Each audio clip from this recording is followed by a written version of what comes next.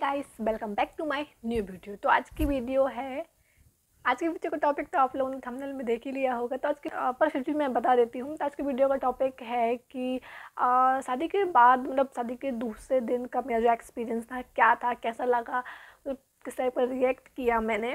तो आज की वीडियो में आपको यही बताती हूँ और वीडियो स्टार्ट करने से पहले मैं आपको बता ही देती हूँ कि ये वाली वीडियो रिक्वेस्ट वीडियो है। जो सब्सक्राइबर है, हमेशा मुझे बताती हैं कि आप ये वाला वीडियो बनाइए, वो वाला वीडियो बनाया तो उन्होंने ही इस वीडियो का ये बुला था। तो मैं आप लोगों को ये वीडियो में बताती हूँ। तो शादी शादी की बात की बात क्या, देखना क्या हुआ था। मैं शादी हुई, फिर मैं सबसे पहले अपने ससुराल गई। तो ससुराल का जो पहला दिन था, उसका एक्सपीरियंस मैं आप लोग से शेयर करती हूँ। आप मतलब क्या होता है, मैं जब गई, वैसे सब लोगों को तो मैं जानने ही लगी थी। तो सबसे पहले क्या होता है, सब लोग तो बहुत ज़्यादा थके थे तो सब लोग सो गए, मैं भी सो गई थी। जब मैं सोकर उठी तो फिर मैं थोड़ा सा मतलब आराम कर लिया था पाँच दस मिनट के लिए। फिर देखा सब लोग काम वाम कर रहे क्योंकि नई बहू जो रहती है ना, कहते ना शुरू शुरू में कुछ काम नहीं करवाते हैं, क्योंकि बेटा मत करो काम, तुम लोगों को आगे जाके तो तुम ही को काम करना है।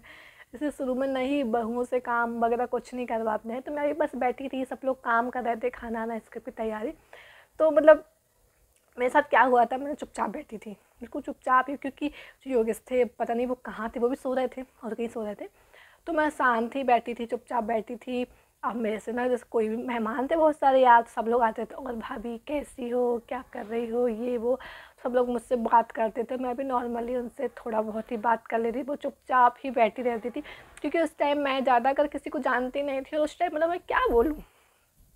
यार मतलब नई मतलब मतलब नई दुल्हन हूँ तो मैं चुपचाप बैठी रहती थी देख, उस टाइम ना मेरे पास मेरा खुद का मोबाइल भी नहीं था, पता नहीं कहाँ था। तो वो चुपचाप बैठी थी तो मुझे प्यास भी लगा था तो मैं किसी से नहीं बोलती थी कि एक एक झिझक भी रहती है और थोड़ी शर्म भी रहती है। तो सब लोग आते थे मेरे पास, क्या कर रही हो? ये, वो, सारी बातें यहाँ, वहाँ की? तो मैं यही बताऊँगी कि आप शुरू का जो ससुराल का जो फ़र्स्ट डे रहता है, उसमें कुछ नहीं रहता।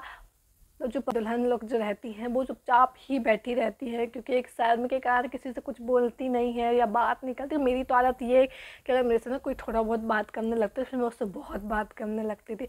बट मैंने ऐसा नहीं किया था। शादी के टाइम भी चुपचाप ही जो जैसा पूछता था, बात करता था, उसी टाइप की मैं भी बातें करती थी। बिल्कुल सिंपली, ज़्यादा मतलब ज़्यादा बातें, ज़्यादा ओवर बातें भी नहीं करती थी, क्योंकि मेरी ना आदत है, अगर मैं किसी से बात करने लगूँगी तो मैं बहुत बातें करती हूँ।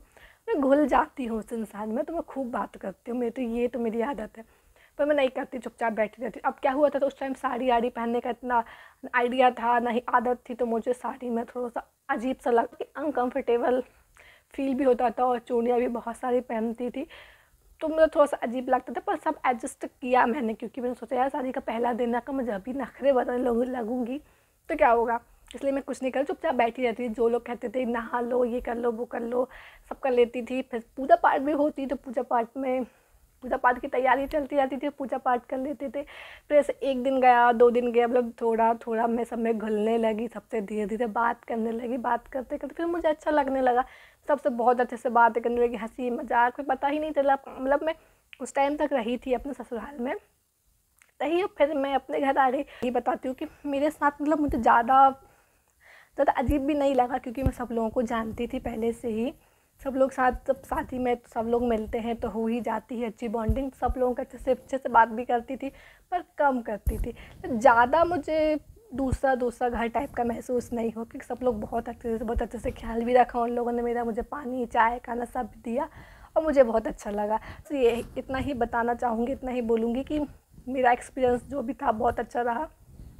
सबको यही लगता है कि शादी के बाद नई बहू जब अपने नए घर में जाती है तो अनजान लोगों के बीच में कैसी रहती होगी, क्या फीलिंग रहती होगी, क्या करना ये वो कुछ नहीं सब नॉर्मल रहता, बहुत अच्छा लगता। और जब हम नई दुल्हन रहते हैं, जब हम किसी के घर में, जब मतलब अपने घर में जाते हैं, वो हमारा घर नया नया ही रहता है, वहाँ का माहौल हमारे लिए नया रहता है।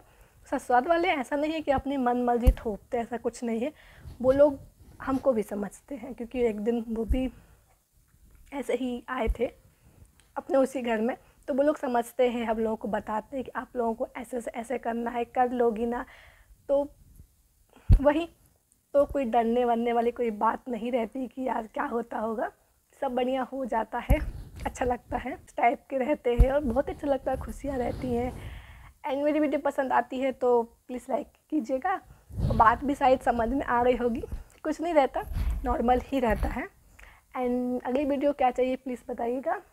वीडियो को लाइक कीजिएगा, सब्सक्राइब कीजिएगा मेरे चैनल को, कमेंट में बताइएगा वीडियो कैसी लगी एंड मिलते हैं अगली वीडियो के साथ। बाय तो मुझे एक बात बोलना था तो मैंने सोचा वीडियो में ही बोल देती हूँ। एक मिनट की बात है, मेरी सब्सक्राइबर है, बहुत टाइम से, और मुझसे कई बार बोल चुकी हैं कि आप अपने शादी से लेकर अभी तक के सारे गिफ्ट शेयर कीजिए हम लोगों के साथ, कि आपके, कि हस्बैंड ने आपको क्या क्या गिफ्ट दिए हैं, आपको क्या गिफ्ट मिले हैं प्लीज़ बताइए। तो मैं आप लोगों को यही बताती हूँ कि ऐसा कोई गिफ्ट नहीं है कि जो उन्होंने खुद जाके लिया हो और मुझे सरप्राइज़ टाइप का दिया हो।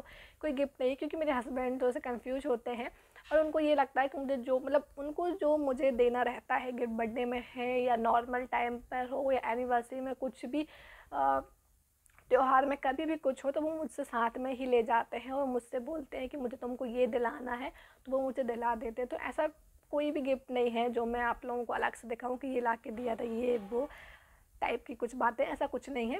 और, रही बात गिफ्ट की तो यार सब कुछ तो वो ही मुझे दिलाते हैं। कोई मैं अलग अपने उससे तो लेती नहीं बस यही समझ लीजिए, मेरे पास जो भी कुछ सब कुछ है, उन्हीं का है। और सब कुछ गिफ्ट ही समझ लीजिए। तो मेरे पास कोई अलग से ऐसा गिफ्ट नहीं है, क्योंकि वो मुझे सब कुछ ना मेरे सामने ही दिलाते हम दोनों ही एक दूसरे के लिए हर चीज़ सामने ही लेते हाँ। थोड़ा सा मैं हूँ, थोड़ा सोच लेती हूँ तो मैं कुछ कुछ चीज़ें उनको दे देती हूँ बट वो मुझे सब कुछ मेरे सामने ही दिलाते हैं। यही सही यही है मेरे सारे गिफ्ट तो मैंने सोचा मैं इसी वीडियो में आपको बता देती हूँ, अलग से क्या वीडियो बनाऊँ, क्योंकि मैंने बहुत सोचा कि मैं क्या बनाऊँ। देखो, दिखावा करना तो मेरे से आता नहीं कि मैं बता देती कि ये दिलाया, वो दिलाया ये गिफ्ट दिया, वो गिफ्ट दिया। तो मैं वो नहीं करती हूँ, इसलिए मैंने सोचा इसमें ही बता देती हूँ। आई होप आप मेरी बात को समझेंगे। Thank you